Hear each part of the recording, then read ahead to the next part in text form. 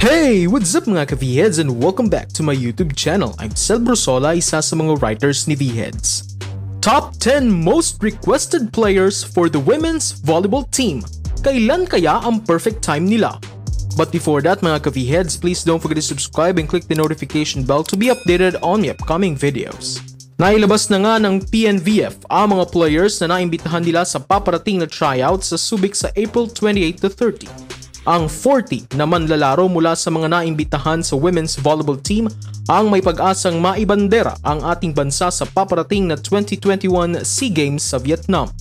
Ngunit sa kabila niyan, mayroon pa ring mga manlalaro na hinahangad sana ng mga fans na mapasama sa tryouts. Ngunit bigo silang makita ito. Ngayon, gumawa ako ng listahan ng top 10 most requested volleyball players in the women's national team. Pero disclaimer lamang mga ka-V-Heads, ang sampung ito ay ang mga manlalaro na may potensyal ngunit wala ngayon sa listahan ng apat na pong naimbitahan sa tryouts. At number 10, Dina Wong.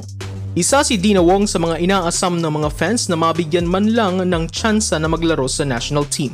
Si Wong ang main setter noon ng Lady Eagles matapos ni Gia Morado. Kinukumpara nga ang 5'8 setter na ito kay Kim Fajardo dahil iiran lamang sila sa mga matatangkad na setter ng bansa. Hindi lamang setting ang kabilib-bilib dito kay Wong, kundi pati ang kanyang floor defense dahil sa katunayan bago siya ginawang setter ay pinaglaro muna siya ni Coach Tai bilang libero.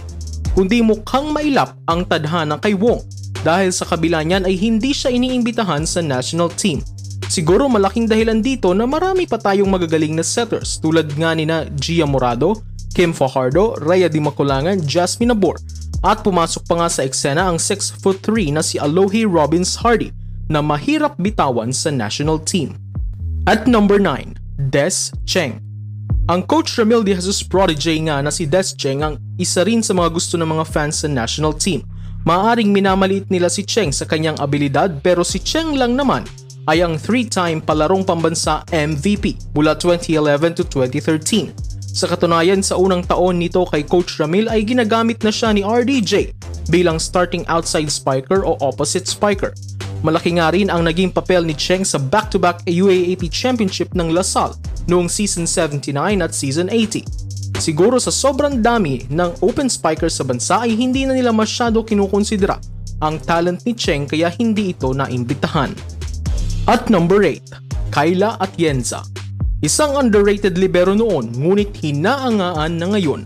Ang dating FEU Lady Tamarao at ngayon Creamline Cool Smasher main libero na si Kyla Atienza. Isa si Atienza sa pumukaw sa atensyon ng mga fans dahil sa kanyang mga unbelievable digs sa PVL.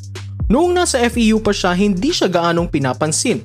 Ngunit nang makapasok siya sa Cool Smashers at matrain ni Coach Tai, ay lumabas ang tunay na potensyal. Tulad rin ng iba mukhang hindi rin ganun kinukonsidera si Atienza sa national team dahil mahirap rin talaga bitawan ang mga talent ni Don Macandili, Kat Arado, Denden Lazaro. Siguro sa panahong magdesisyong magretiro ang iilan sa kanila ay maaari nang makapasok sa team si Atienza. Ika nga nila panapanahon lang yan. Number 7, Jack Jonella. Isa pang libero si Jack Jonella. Hindi na bago kay Jonella ang national team dahil ang Signal HD Spiker libero na ito ay napasama na sa ating national team sa mga international competitions na ito. Ngunit sa mga panahong ito, hindi na siya kinukonsidera dahil sa mga bagong players at libero na kumikinang pa ng higit sa kanya. Siguro dahil siya ay mula sa isang NCAA school ay hindi siya pinapansin ng iba. Kung maaalala nyo, bago nagkaroon ng Don Macandili sa Pilipinas ay Jack Junella muna ang nagpatunay sa kasabihang dig kong dig, dive kong dive Ayon nga sa isang article, tinaguri ang Iron Lady ng Philippine Women's Volleyball si Jonella dahil sa kanyang tagal na sa paglalaro sa Pro Leagues. Siya umano ang LA Tenorio ng volleyball.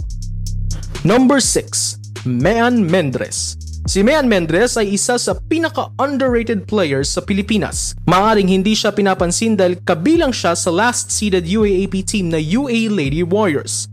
Bukod pa riyan, hindi rin gaano kaingay sa court ang batang si Mendres kaya kahit nakakapunto siya ay hindi siya gaano pinapansin ng marami. Ang 22-year-old na itong si Mendres ay nakapukaw lamang ng atensyon noong season 82 ng UAAP nang ginawa siyang team captain ng kupunan at naipamalas niya ang kakaibang explosiveness at approach sa pag-atake.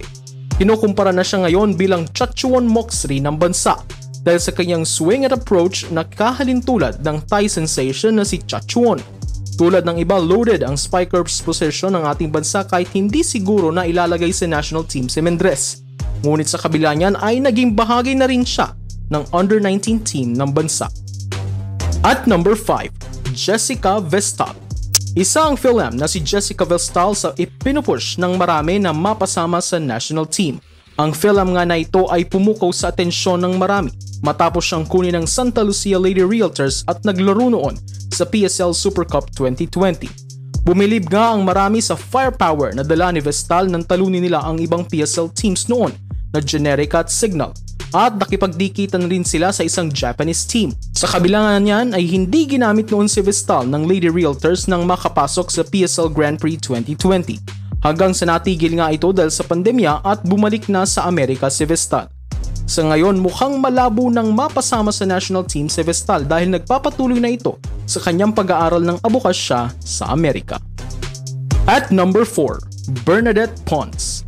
Isa nga si Bernadette Pons sa mga MVP caliber players sa UAAP dahil sa kanyang talino sa paglalaro. Ngunit hindi niya ito nakukuha dahil natatabunan siya ng mga manlalaro mula sa Lasal at Ateneo ang 5'7 outside spiker na ito ay maaari sigurong naimbitahan sa national team ngunit hindi nga kinukuha. Pati sa Pro League ay hindi siya gaanong ipinapasok sa starting lineup dahil parati siyang nasa likod nila Cici Rondina at Ces Molina. Dahil diyan ay nakapag-isip sila ng kanyang tandem sa beach volley na si Cici Rondina na mag-focus na lamang sa beach volleyball at nairepresenta nga nila ang Pilipinas sa nakaraang SEA Games sa beach volley at nagwagi ng bronze medal. Dahil diyan malabo na ring makita si Pons sa indoor volleyball sa ngayon at sa indoor national team dahil nga sa kanilang commitment sa beach volley. At number 3, Gemma Galanza. Isang underrated at mahinhin rin na open spiker si Maring Gemma Galanza. Bihira kung kunin siya para maglaro sa national team ng bansa. Huli siyang naglaro para sa bayan ay noong 2018 AVC at bench player o defensive specialist lang siya ng kupunan. Hindi pa noon maibuga ng former Lady Falcons ang kanyang buong talento. Ngunit nang pumasok siya sa Cool Smashers sa ilalim ni Coach Ty Bundit, ay naging na siyang revelation at scorer ng team na tumulong kay Alyssa Valdez. Kagulat-gulat nga rin noon ang kanyang performance at nagwagi pa siya ng 2019 PVL Open Conference First Best Outside Spiker at MVP award ng magkasabay. Matapos noon ay saka lamang siya pinapansin ng mga fans at ginugustong maipasok sa national team ng bansa. Number 2, Cici Rondina. Maaring isa si Cici Rondina sa pinakamalaking kawalan ng Philippine Indoor Volleyball. Tulad ng kanyang partner na si Pons ay pagtutuunan na rin ng pansin ni Cherry Bomb ang beach volley. Ngunit kung sila ay mananatili sa indoor volleyball, di malayong makuha sila ng national team. Sa Southeast Asia, mukhang si Cici Rondina lamang ang nakakagawa ng ganong kataas na talon at power sa bola. Kaya palagay ko kahit Thai team ay mahihirapan sa kanya. Ngunit mas pinili nga nila ang beach volley kaya malabo sa ngayon ang national team kay Rondina. Last but not the least, at number 1, Ara. Isa pang RDJ protege si Ara. Hindi na siguro natin mabilang sa ating mga daliri at isipan kung ilang tao ang gusto siyang makapasok sa national team. Sa talino niya rin maglaro ay hindi na rin kaduda-duda ang talento na maaari niyang maidagdag sa national team. Ngunit tila ba'y mailap rin ang tadhana kay Galang. Sa katunayan, noong 2015 ay dapat kasama na si Galang sa national team. Ngunit dahil sa knee injury ay hindi siya nakapaglaro dito 2018 naman ang maimbitahan siya sa tryouts ng national team ngunit kagulat-gulat na hindi na siya napili sa final selection. Maaaring choosy nga ba sa coach si Galang at gusto niya na si RDJ ang coach niya sa national team o tanging injury prone lang siya kaya hindi siya kinukuha. Ganun pa man, missing piece talaga ng national team ng matagal na panahon si Ara Galang.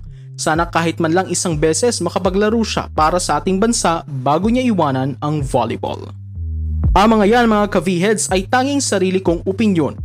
Ang makuha sa national team ay malaking blessing at opportunity para sa mga atleta natin. Kahit hindi nakapasok ang mga paborito nating players, sana sa huli ay kung sino-sino man ang mga napili ay makuha nila ang ating 100% support upang mas ganahan silang maglaro. Itigil natin ang kritisismo sa kanila dahil sa totoo lang, napakahirap ng sakripisyong ginagawa nila para sa kanilang sarili pamilya at para sa bayan. Yan lamang mga ka-V-Heads, kung may gusto pala kayong idagdag sa ating listahan, i-comment nyo lang yan sa ating comment section. So there you have it mga ka-V-Heads, thank you for supporting this channel. Please don't forget to subscribe and click the notification bell to be updated on my upcoming videos.